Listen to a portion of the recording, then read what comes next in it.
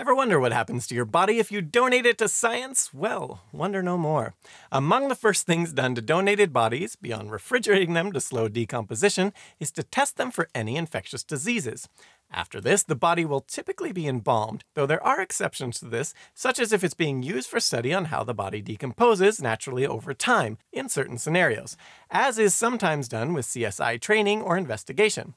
Also of note, if your body is accepted, once they're done with it, the authority studying it will often, depending on the wishes of you or your family, cremate the remains free of charge, or otherwise return them to your family for a private service at your own expense. It should be noted, though, that most medical institutions in the United States place a height and weight limit on the cadavers they'll accept, usually limited to 6 feet, 1.83 meters, and a max of between 180 to 200 pounds, which is 82 to 91 kilograms, depending on the medical institution. The main reasons for these restrictions are practical in nature, from transporting more girthy bodies being more difficult, and also that dissecting obese bodies is a lot more troublesome owing to slicing through a lot of fat just to get to what's being studied.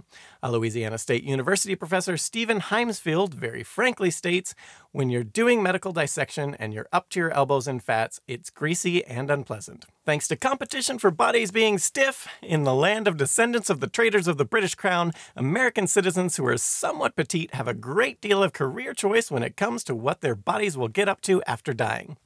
As for these options, doctors may use your body to train in some new and innovative surgical method or with some new piece of equipment.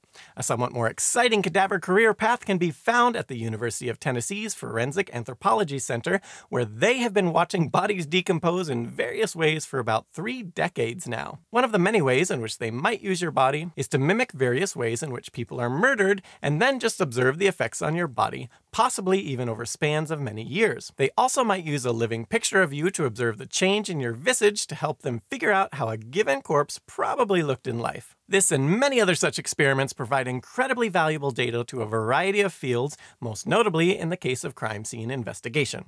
If being murdered after you die and then observed as you decompose isn't your thing, when you donate your body, some institutions allow for selecting to donate for safety testing. If you check that box, your body then may be used as a crash test dummy. You see, it turns out the use of dead bodies in car safety testing is something every car manufacturer benefits from when testing some new safety device or car design. Although, when asked, most seem prone to outright deny they test in this way. For some, it's technically true that they don't, and that they may simply donate funds to various medical institutions that, in turn, at the behest of the company and the National Highway Traffic Administration, use bodies to test various cars and car safety equipment. So it's not technically the car company doing it, they're just kind of paying for it. Beyond crash tests, there are countless other ways in which your body might be used if you opt for safety testing, including in testing various helmet types. In fact, some dead people's heads are presently being used to design better helmets for those who participate in American football. As you can imagine, the NFL is particularly interested in this line of research, but it's also potentially massively beneficial for the many thousands of teams who play the sport.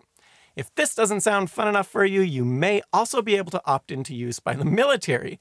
If accepted, your body will likely be loaded with state of the art sensors and then used to test new weapons and armor, or just used in things like testing a given explosion's effect on the human body. Yes, if you'd like to help protect the troops or to help in the design of weapons for making more bodies out of other countries' humans, you too can potentially have your corpse blown up for military science. Or if you're more of a pacifist, you may have the option to spend the afterlife as a skeleton